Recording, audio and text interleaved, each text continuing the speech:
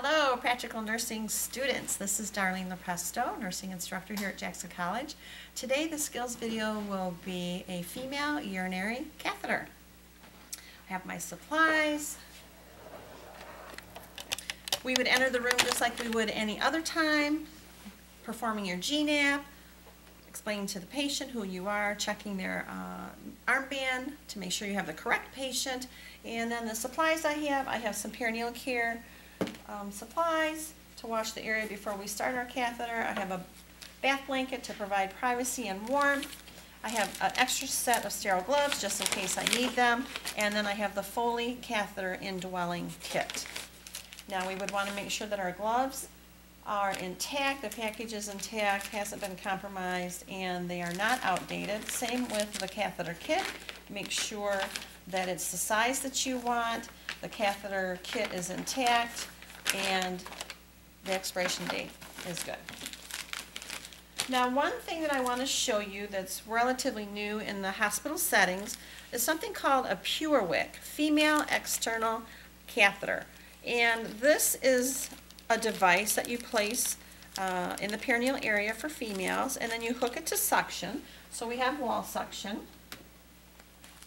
And you place it in the perineal area, and then it acts as a wick to wick away the um, urine when a client is incontinent. So that helps promote skin integrity um, in the perineal area, and I thought that was really kind of a cool thing. I hadn't seen it yet, so I wanted to make sure that you guys had a chance to see that. So look for that in your facilities.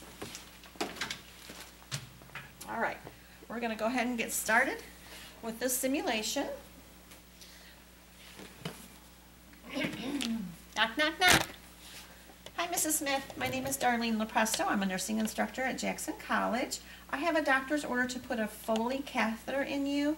It's an indwelling catheter that goes up into your bladder to help capture your urine. You're having some trouble with that right now? Yeah? Okay. Can you tell me your name and date of birth?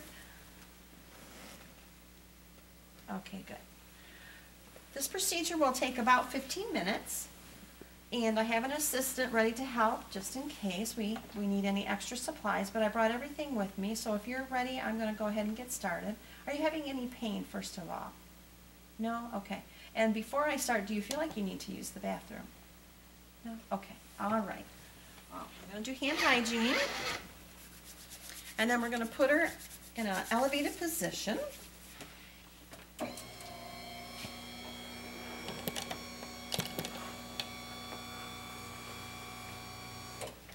Mrs. Smith, I brought an extra blanket just to help give you a little privacy while we do this.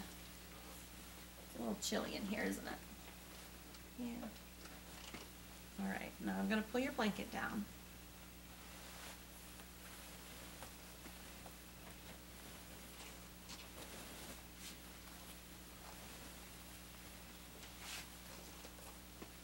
Does that feel warm? Okay. All right, the first thing we're going to do is just wash your perineal area. They gave you a bath this morning? Okay. Well, I'm going to do it again one more time just because that's our protocol here. I have a pad, so I'm going to have you just relax your legs out towards the side. Okay, is that comfortable? Good, that gives me kind of a working area here on your bed. I'm just going to place a blue pad under her so that I don't get all her linens wet. And I've got a soap of, uh, a bowl of warm soapy water. And we're going to do, you can either do the four corner technique like we've already talked about with hygiene or you can do the min. I'm going to do the four corner technique.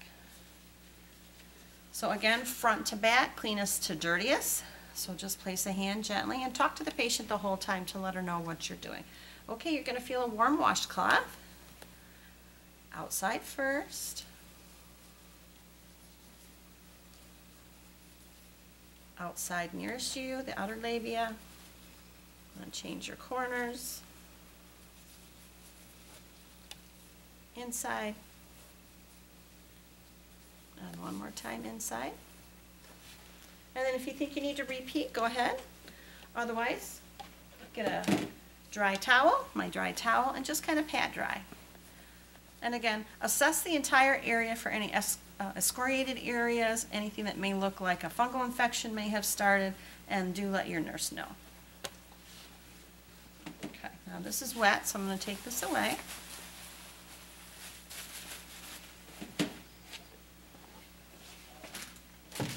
Okay, and we're done with that. Just gonna cover you up while I get my other supplies ready, all right? All right. So throw those away, hand hygiene.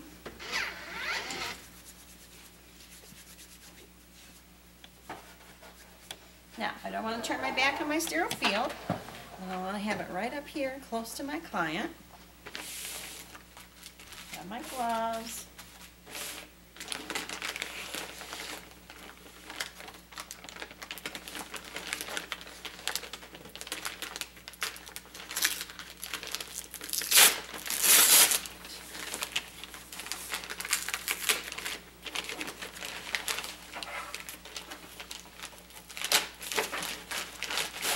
Now, what I like to do is I like to save the inside piece of paper because I use that for charting later, just so I can remember what size that I put in.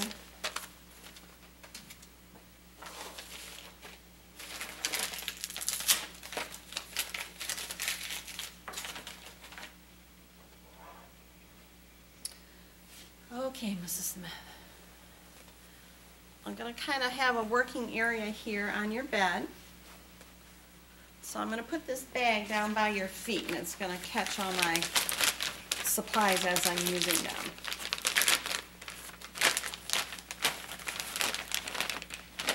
You, are you comfortable so you don't have to move? Okay. All right, remember as you're opening this, it is sterile. You have that one inch around it.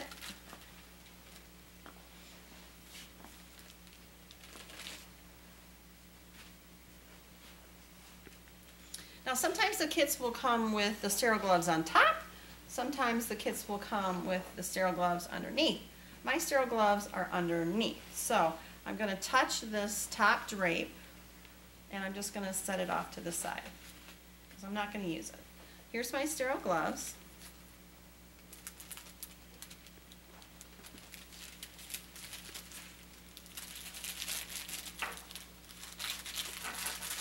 All right, before I open this, I'm gonna take this kit and I'm gonna move it right to my working area. Okay? Now we have to remember that if the patient has any kind of dementia, you wouldn't want to be putting this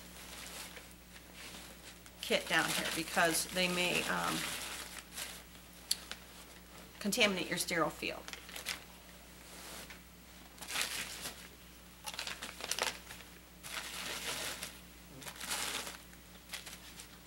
All right. Sterile gloves. I'm gonna wash my hands one more time before I put these on.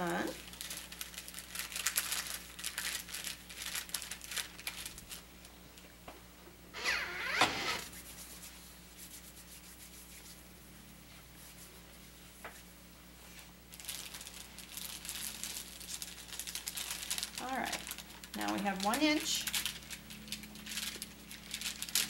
of round that is not sterile so that we can touch in case we have to. Dominant hand first, up above, off the table.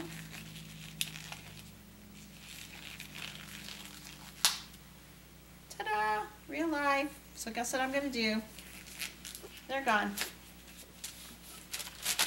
That's why you bring a breath, bring a backup. Or in case you have trouble putting your catheter in, and your assistant has to help you.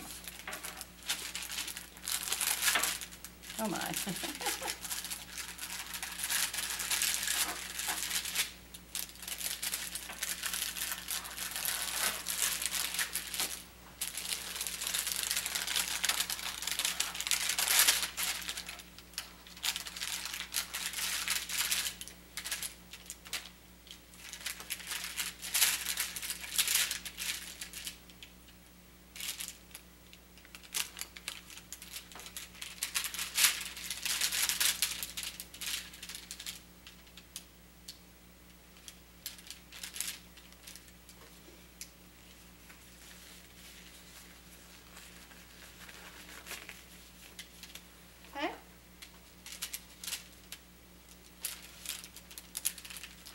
hold that one inch at the outside border here until you get the glove where you want it. Hitchhiker thumb, keep that out of the way. And then just slide right in.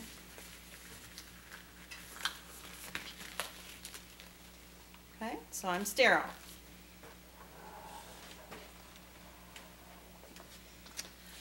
All right, so we've got some goodies in this container that we need to work with. First, I'm going to take this fenestrated drape, and this drape happens to be for a male. You can see the hole in it. But what I'm going to do is I'm going to kind of be creative.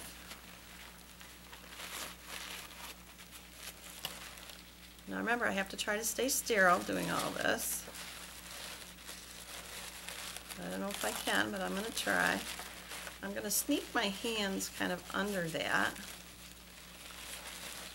And I'm going to slide it under her legs. Just to kind of add a little more sterile field there. All right, so here I have some saline. I've got my betadine to put on my cotton balls. I've got my lubricant and I've got a sterile specimen cup because a lot of hospitals, the policy is to collect a urine sample when you uh, first put in a catheter. I'm going to go ahead and dispose of that because we're not going to do that right now. I'm going to get my tray ready. Be careful when you open the betadine. You don't want to end up wearing it. Just like that. And try to soak all these cotton balls because we're going to use them all.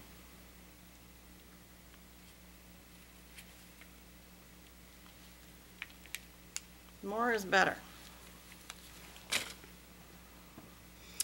All right, this is my lubricant. I like to put it here. Some people put it in this tray. I like to put it here. Now we need to find our catheter. And that's where things get a little crowded. I'm going to leave my tray here. And this catheter bag, we don't have to worry about it being sterile except for the catheter itself. So you might be going, all right, what do I do with all of this stuff? Let's just leave this kind of wadded up. You got to maintain control of it.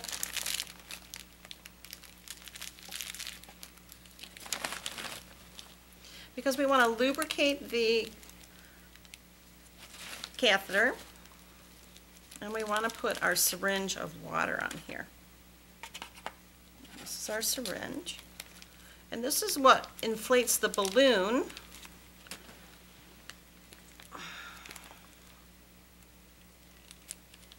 which will hold it sitting in the bladder. Now we used to test the balloons, but we don't do that anymore. That's not common practice to do that anymore. So I'm just going to lay that here. Again, I'm trying to maintain sterile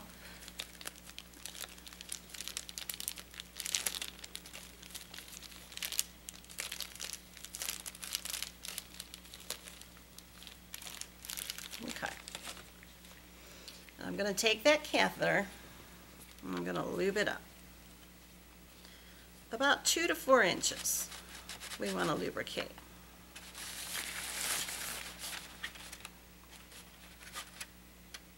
All right.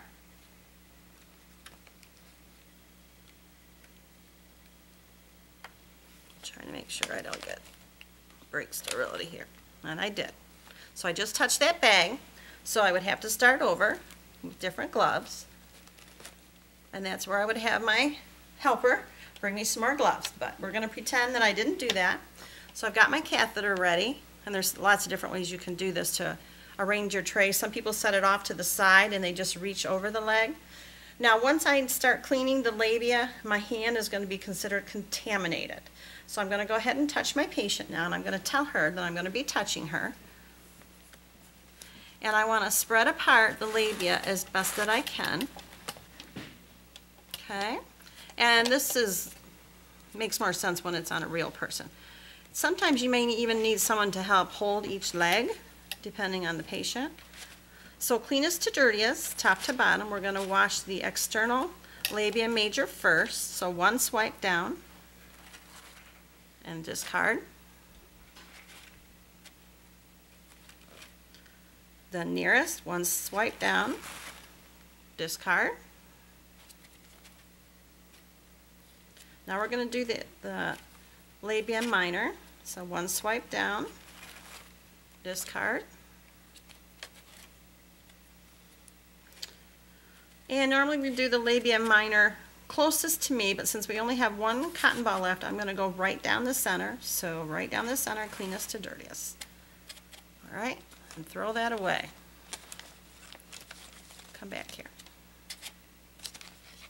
Okay. So I stuck my hand in that bag, which I'm not supposed to do because that's sterile. So pretend I didn't do that. I may have to redo this video. But it's a good thing I'm showing you all the oopses because then you won't do the oopses. So now we're ready to, to uh, put the catheter in. So I'm going to go ahead and get the catheter. Now be careful, it's going to be a little slippery, but we do want it lubricated, well lubricated for females. And just separate the labia. Sometimes if you have them cough, you can see the urethra. Shoot high, aim high, and just insert, insert, insert, insert. Oh, good, we've got urine. All right, that's what we want. So I'm going to take this tray out of the way. I don't have to do sterile anymore. And notice with my non-dominant hand, I'm hanging on to that catheter because I don't want it to slide back out. So I've got the urine draining. And I'm going to go ahead and inflate my balloon. So we're going to just pretend. So we're going to inflate, inflate, inflate, inflate. We're going to push the sterile saline in there, disconnect, and then gently just pull back until that balloon is sitting at the base of the bladder and at the top of the urethra. That's what's going to hold this catheter in place. Okay? Then I would do some peri-care, wash her all up, and our bag here, we need to make sure that the bag is clamped. Notice at the bottom here, this is the spout, and this is what we're going to hang over the side. And you want to make sure the spout is clamped, otherwise you're going to have urine on the floor. Okay. And I'm just going to go ahead and show you how you unhook the spout. Okay, and then you would empty it into what other, whatever measuring receptacle, wash it off with alcohol, and then put it back there. And it's clamped. So we would hang that off the side of the bed, not on the side rail, but on the actual bed, and then loop the tubing on the bed. That will create kind of a siphon, and by gravity, it will help the catheter drain better.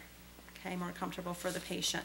Um, if she complains of it being uncomfortable and pulling on her labia, we can always put um, some tape on her leg and secure it to her leg so it's not pulling when she's up walking or going to the bathroom. Or uh, we could also put it on her belly if she wanted it there as well. But usually we put it on their leg. So then I would clean all of this up Take away all of the barriers from the bed, make sure the linens are clean, and like I said, a final wash to the perineal area. And we are all done. Thank you very much.